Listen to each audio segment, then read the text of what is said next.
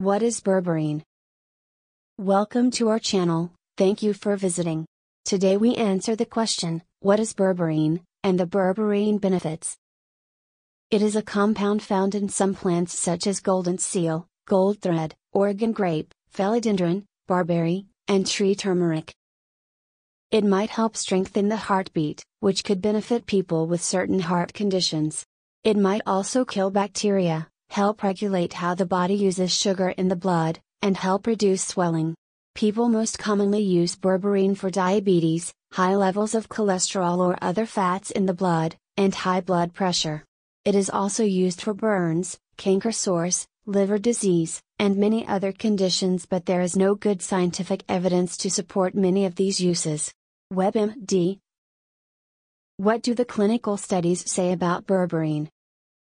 In a 2021 report based upon the meta analysis of 417 randomized clinical trials and outcomes from over 1,660 related studies in four databases from the National Library of Medicine, link below, the research regarding cholesterol, blood glucose levels concluded that berberine can reduce insulin resistance to improve type 2 diabetes, prevent diabetic encephalopathy, severe microvascular complications, reduce triglycerides, total cholesterol, LDL, and increase HDL levels.